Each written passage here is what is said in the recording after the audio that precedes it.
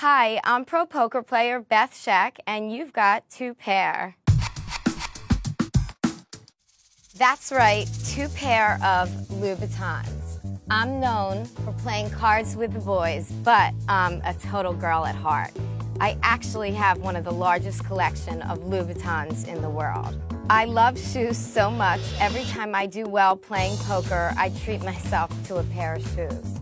These are my second favorite pair of shoes. I just came in 11th at the Harrah's World Series of Poker, and I had my eye on these shoes. So as soon as I cashed in the tournament, I bought these shoes. They have Swarovski crystals all over them. These shoes are really limited. There's less than 50 pair of these. I feel these shoes are, they're, they're a piece of jewelry.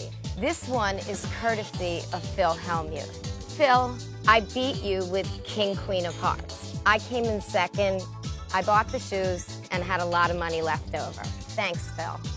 Shoes remind me of a period in my life. You know, some people may listen to a song, some people have other things, and to me, it's a pair of shoes. So remember, you've got to play your cards right if you want to walk around in hot shoes.